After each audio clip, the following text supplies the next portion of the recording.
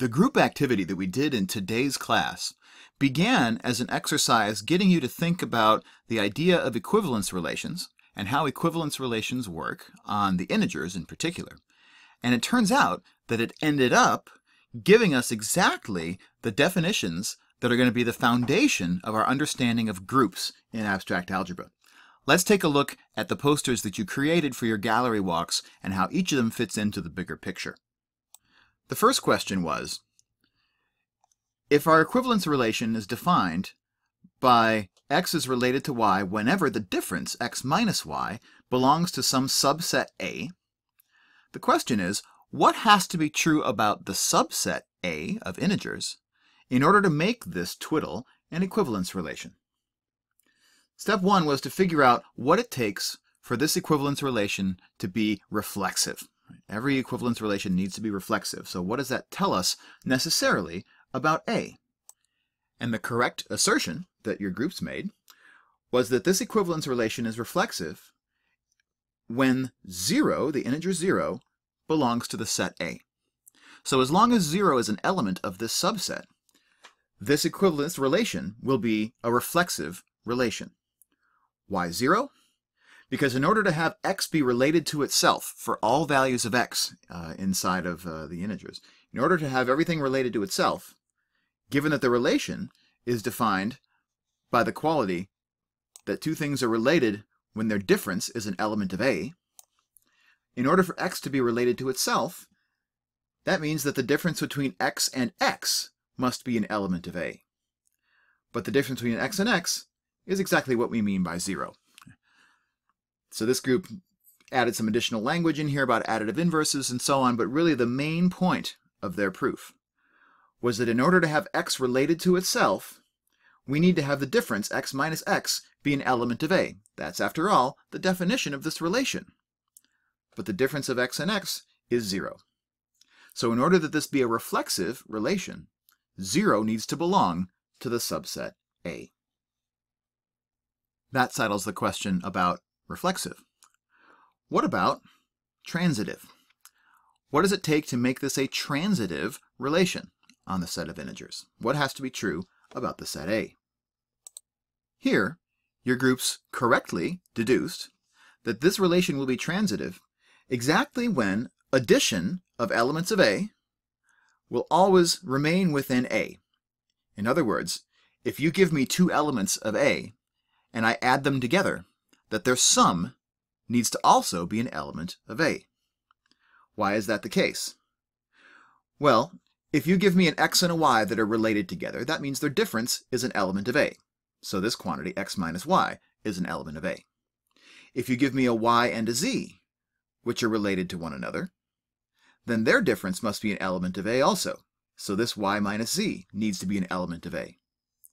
So then the question is, what happens if I add together x minus y plus y minus z? I'm adding together an element of A plus another element of A. And the result, the y's canceling, gives us x minus z. And in order for x to be related to z, in order to be able to conclude that x is related to z, we need this x minus z to be an element of A. So again, reading from the beginning to the end here, in order for this relation to be transitive, we need to be able to say for sure that whenever I have one element of A and I add another element of A together, that their sum is an element of A. That way, when this quantity belongs to A and this quantity belongs to A, we can conclude that that quantity belongs to A, and therefore that x is related to z. That'll satisfy our transitive property. Last but not least, every equivalence relation is not only reflexive and transitive, it's also symmetric. And your groups deduced that in order for this relation, in particular, to be a symmetric relation, the set A has to have the property that every element of A also has its additive inverse belonging to A. The argument there is that if we assume x is related to y, then by definition, x minus y is an element of A.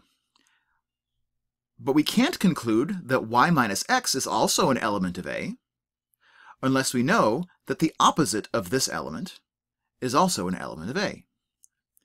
If we can make this assumption about A, then as soon as x minus y belongs to A, so too will its opposite y minus x.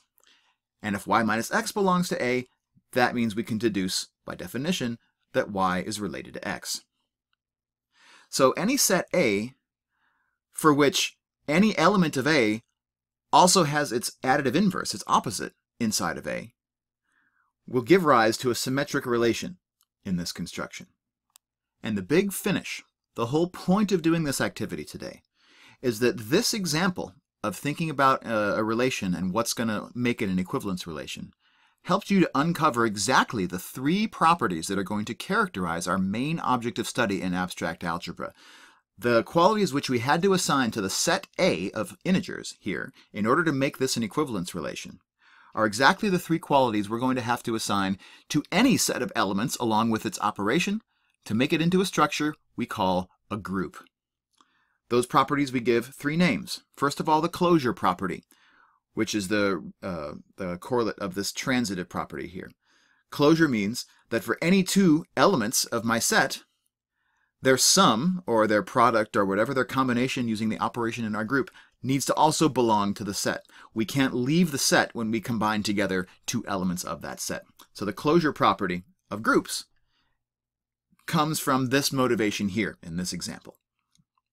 Meanwhile, the fact that we require 0 to belong to this set A gives rise to the notion that groups need to have an identity element. An identity element being something that when we combine it together using the group operation with any other element of that group, it leaves that other element unchanged. So 0 is the identity element in the additive group of integers, because when we add 0 to anything, it doesn't change that thing. And finally, the symmetric property gives rise to something we'll call the inverse property for groups.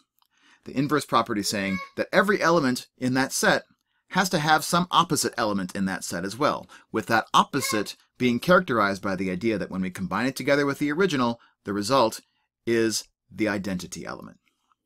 So this example shows why the three properties that we insist upon in defining a group, where they come from, in this example, thinking about equivalence relations.